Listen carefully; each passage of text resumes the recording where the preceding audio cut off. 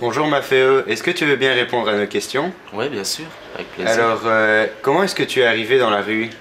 Bah moi je suis arrivé à la rue dû à, je dirais, un problème social qui a fait que j'ai perdu euh, mes droits sociaux au niveau de la CPS. Et voilà, je n'ai plus su payer mon loyer, et ce qui a fait que je, suis, je me suis retrouvé, retrouvé à la rue.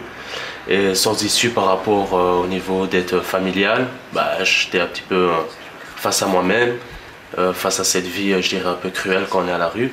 Et je n'avais d'autre choix que de, me retrouver ici, dans les après-midi. quoi. Quel problème est-ce que tu rencontres dans la rue? Le froid. En hiver, c'est surtout le froid. C'est aussi de, bah, je dirais, trouver un peu d'argent pour pouvoir euh, manger un petit peu. Est-ce que tu trouves que les personnes euh, dans la rue que tu rencontres euh, t'aident? Euh, Quel est leur regard par rapport à... Ben, par rapport à ça, j'essaie de garder un, ét- un état d'esprit, je veux dire, décent. J'essaie pas de trop montrer que je suis quelqu'un qui est dans la rue. J'essaie de garder comme un esprit digne. Et de là, ben, je, pense que, je pense que je peux rester un peu monsieur tout le monde. Et à propos de la drogue et l'alcool, c'est fort présent dans la rue? D'après ce que je peux voir, je pense que oui, énormément. Euh, ça, tourne, ça tourne beaucoup. Euh, maintenant, ceux qui s'empruntent, c'est parce qu'à mon avis, ils, ont, ils, ont- ils ont- ils sont, ils sont arrivés à un état de psychologie très atteint et qu'ils que ont, ils ont plus de. Je crois qu'ils ont plus d'objectifs ou ils ont plus de but ou, ou qu'ils croient plus en rien et qui ne se donnent plus euh, les moyens de s'en sortir. Alors, ils ont, ils ont sombré dans la, drogue. quoi. Alors, euh, est-ce que... Donc vous êtes nombreux dans la rue. Est-ce que euh, il y a de la solidarité ou c'est plutôt l'inverse, euh, chacun pour soi? Moi, je dirais que par rapport à les affinités, je dirais par, par rapport aussi aux origines, je crois qu'il peut y avoir euh, des solidarités qui peuvent se former entre nous. Et je veux dire aussi par là qu'à l'opposé, il n'y a pas, il y a, pas je, je veux dire qu'il n'y a pas de, il y a pas de riv- rivalité non plus quoi. Je veux dire chacun fait ses affaires, mais comme j'ai dit par rapport aux affinités, à l'origine et tout ça, c'est vrai qu'on peut créer une certaine solidarité, une certaine complicité qui fait que on marche ensemble et on essaie de, se serrer le coude et, de voir un petit peu avec euh, notre état d'esprit de chacun, de voir comment on pourrait faire pour euh, atteindre euh, un, cer- un certain, un certain truc pour, pour nous mettre, je veux dire, dans des situations plus convenables. Bonjour Jason, je sais que tu as hésité à répondre à nos questions, mais c'est sympa d'avoir accepté. Alors, peux-tu nous expliquer quel problème tu rencontres quand tu vis dans la rue? J'ai 20 ans. Ça fait euh, deux ans que je suis dans la rue depuis l'âge de mes 18 ans, quand je suis sorti d'institution.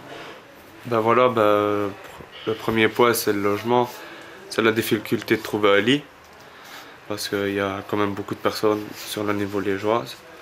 Ben voilà, donc euh, il y a ça, il y a la toxicomanie qu'on doit résister à essayer de ne pas tomber dans les drogues.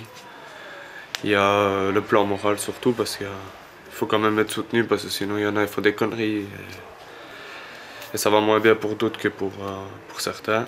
Aujourd'hui, pour sortir de la rue et sortir de ce cercle vicieux, il te faudrait quoi? Ben, déjà de la volonté. Parce que pour euh, certaines personnes qui n'ont pas la volonté, ben, ils vont pas s'en sortir. Ben, essayer de s'en sortir sans faire de conneries, euh, ce serait l'idéal. Ben, ce serait de, de mettre de l'argent de côté pendant, on va dire, deux ans à deux ans et demi euh, grâce au CPS. Mais voilà, euh, rester deux ans et demi dans la rue, c'est pas trop facile. Donc euh, ben, l'intermédiaire, c'est les maisons d'accueil. Mais dans, les cas d'hiver, eh ben, y a- elles sont remplies. Parce qu'il y a beaucoup plus de personnes en hiver qu'en été.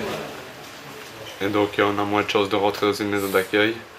Donc les places sont chères, donc euh, même si on rentre, une bête, une, belle- enfin, une incartade, ben, c'est directement de nouveau à la rue.